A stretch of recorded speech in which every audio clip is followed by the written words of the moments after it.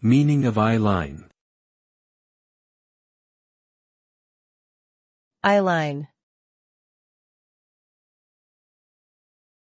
Eye line.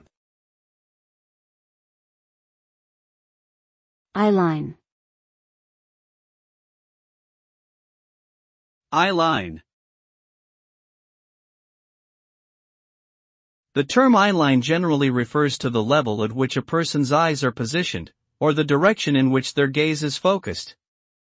In film and video production, it is also used to describe the imaginary line that connects the eyes of two people engaged in a conversation.